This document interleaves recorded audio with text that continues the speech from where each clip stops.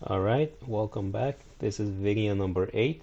Um, we will be adding calibration uh, code to the unit uh, to configure it from the phone.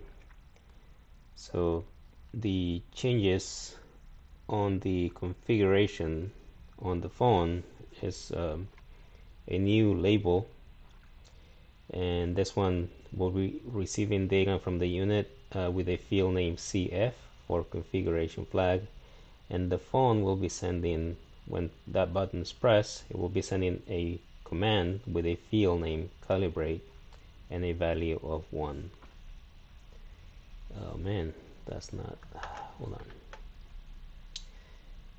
It's I don't focus so let me just change something real quick here.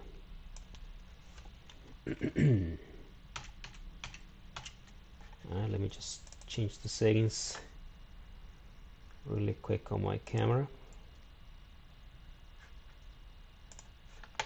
Uh, let's see remove that.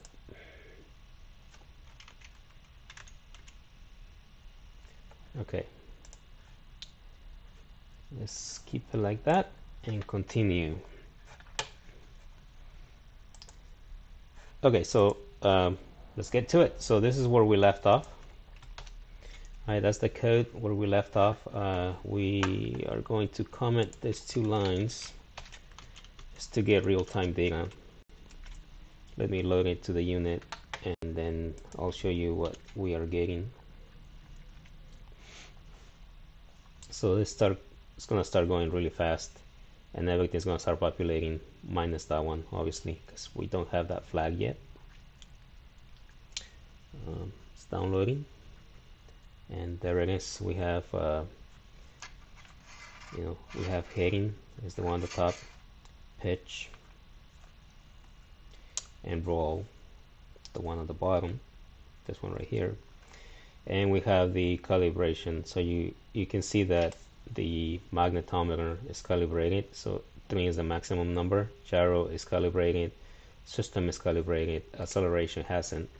This one requires three different positions hold it for a couple seconds and then it'll start calibrating. So I'm sorry six different positions not three. And then it'll calibrate. So because of that uh, once it's mounted into whatever you're mounting this unit you can't calibrate it anymore. So we want to make sure that uh, on command we can calibrate it and store it save it in memory. So when it powers up we can load it again. Okay so let's look at the, what the code's gonna look like uh, so first uh, we need to declare this new calibration variable. Uh, calibration code. And we'll call it calibrate initialize it to zero. We also need a function uh, called enable config uh, the unit doesn't allow us to access the calibration uh, registers to read or write unless we're in configuration mode. So uh, we'll we'll add a function to switch uh, between configuration and the other running uh, settings.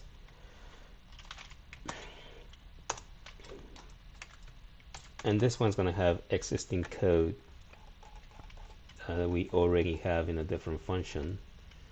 This one in reset. So we'll we'll, uh, we'll move this code and enable config here and move the code down here. Um, after that what we need to do let me copy the same comment I have here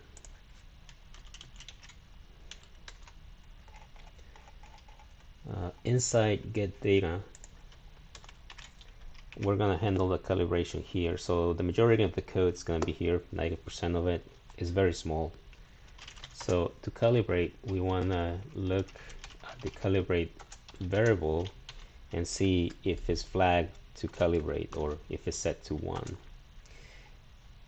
and if it is set to 1 we reset the unit and enable uh, sensor fusion again. Update the flag to 2 so we can move on to step 2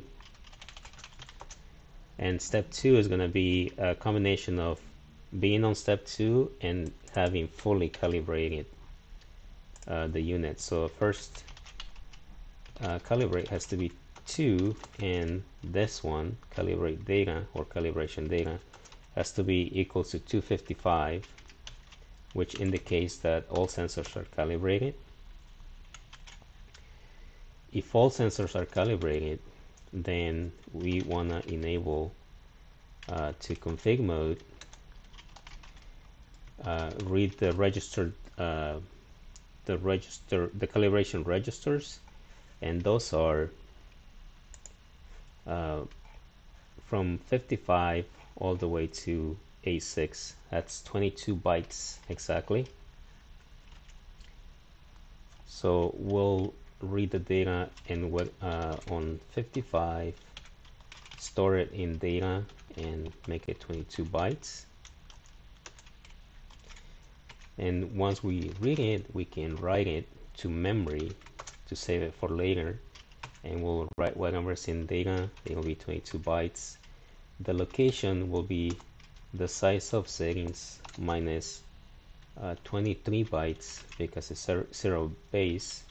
This will also allow us to uh, if we want to increase our memory settings buffer it will automatically adjust to move the calibration data to the end of the buffer. Uh, we also want to create a flag in memory for ourselves to write it just before the calibration data. It will be one byte and size of settings minus 24 so we'll write it to 1 and then when we need to load data we'll check to see if it's set to 1 if it is then we have good calibration and then we can load it. So once we, we have it in, in memory we can tell the flag that we are done with it by setting it to 0 and then enable sensor fusion again so this will handle calibration for us at least saving it into memory. And now inside this function we're going to add additional code to load it into the unit from memory whenever this function is execute executing so it'll be here. So we want to read memory put it in data one byte and the location is the size minus 24 so we're not reading the calibration yet we want to check to see if we have good calibration first before we read it. So we want to say if data 0 is equals to 1. Also, we want to make sure that calibration is not act is not going on right now. So we're not calibrating. Calibrate uh, is equals to 0. So if it's equals to 0, we are not calibrating. And if that is the case, now we can read the calibration data. And it'll be uh, si size of settings minus 20 23 right? And we enable config mode. Write the register. It'll be same 55 whatever's in data 22 bytes. And then um, that's it. Uh, we want to use uh, one of these LEDs we'll use this this is the red LED so when we're configuring or when it powers up it will be on until it calibrates. Once it calibrates it will be off. So we will turn it on at the beginning so GPIO right pin. Come on. GPIO right pin. And it will be the red LED the port and the pin and the uh, GPIO pin set. Okay we'll copy this and reset it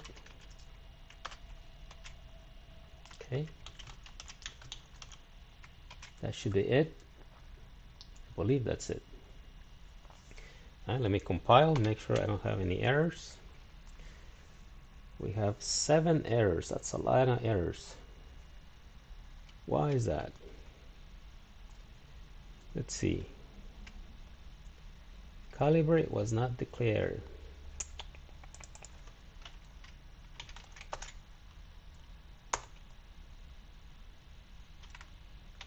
let's see. Is that still an issue? Yeah why is that complaining? We have it here. Oh this thing is incorrect. All right. Let's compile again. Okay zero errors. We go to uh, main CPP and add the required code to handle calibration or to initiate initiate calibration. So here uh, we'll check to see if uh, the command coming in from the phone or we need to compare it uh, the field is equals to calibrate. If it is it will give us a zero. And if it is the same field then we want to say gyro calibrate equals uh, phone value. Whatever we're sending in. Okay? Uh, we're gonna change this as well. Right.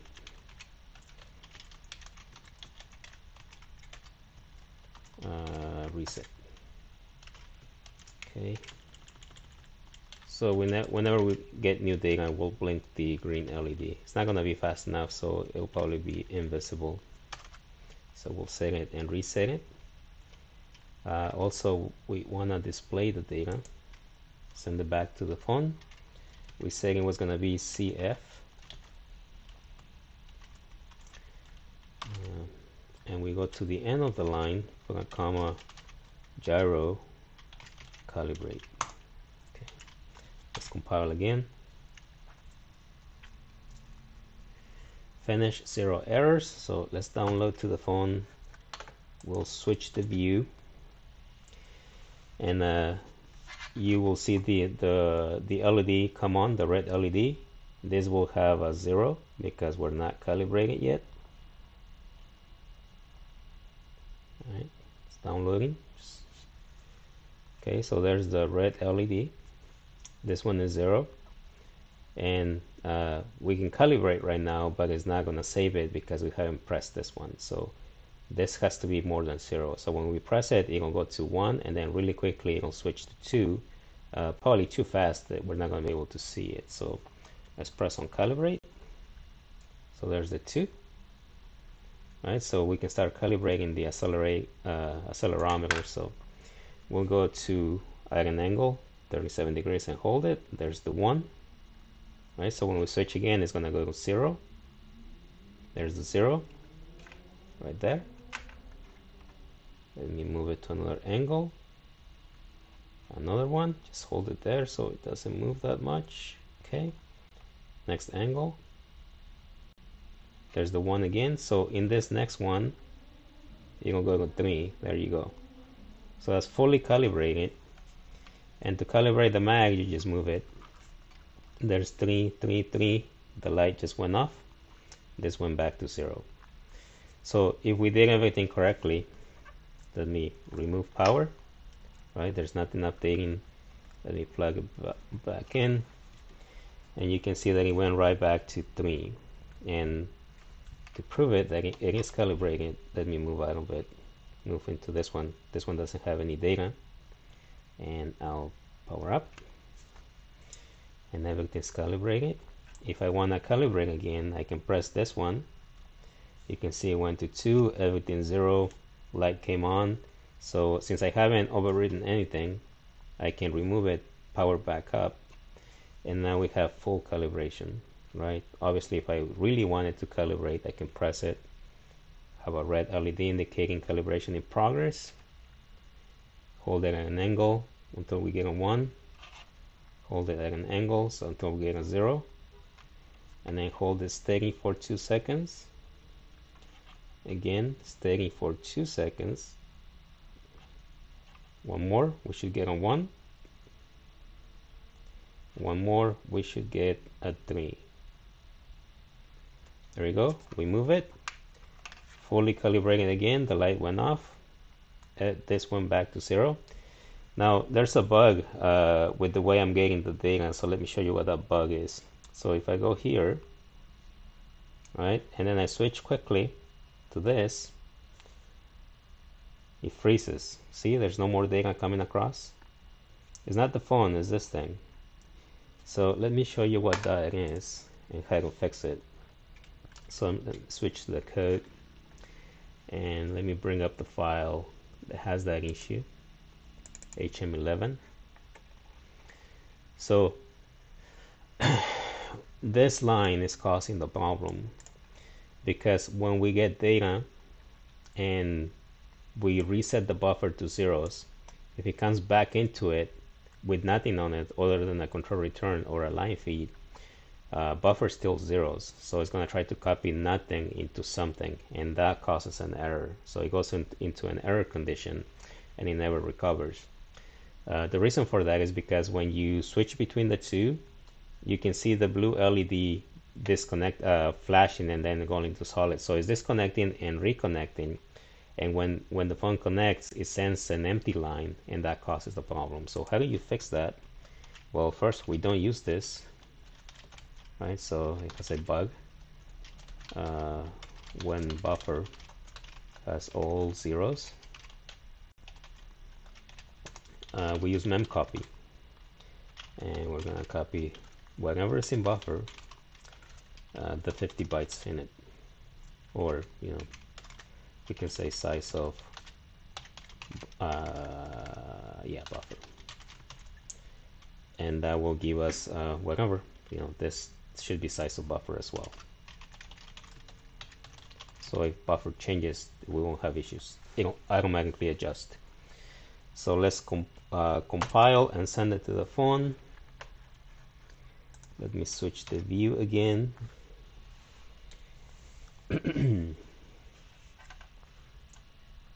And let's see if it works.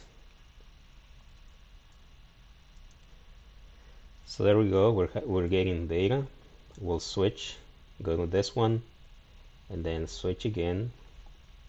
And it just goes right? There's no no issues so that's pretty much it. It's fully calibrated. Everything works. And if I press it now it's asking for calibration. If I power off power back on fully calibrated again. Alright that's all I have. So uh, next video uh, will be uh, a series of videos on creating the next unit for receiving the data from this one. And once I have that unit uh, we'll configure the NRF24 that should be uh, probably 100 lines of code or so maybe less. We'll see. Alright until next video enjoy